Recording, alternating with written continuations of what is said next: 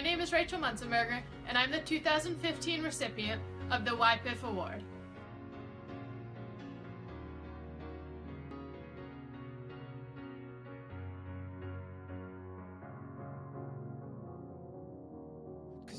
When I found out about the award, I was really excited because it's unlike any other awards around.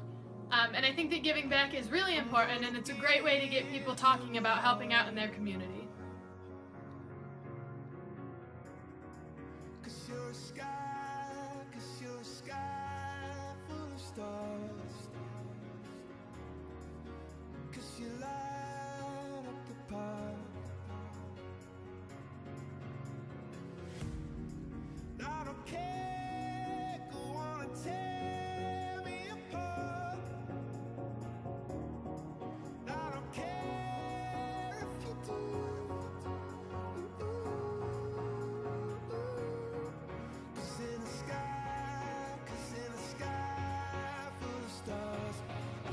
I was really honored to be selected as the winner of this award because I never did anything for any recognition, but it's great for, to have people acknowledge you for what you're doing, and it raised a lot of awareness for dystonia and my friend Brianna.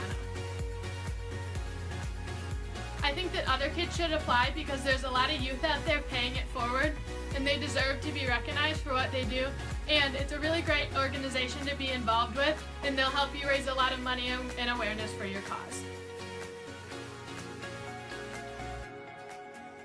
Just want to remind other kids that it doesn't have to be a huge event.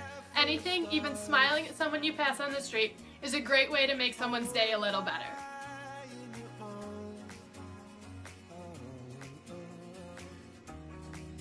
I just wanted to say thanks again to Epifany Now for this great opportunity and keep paying it forward, everyone.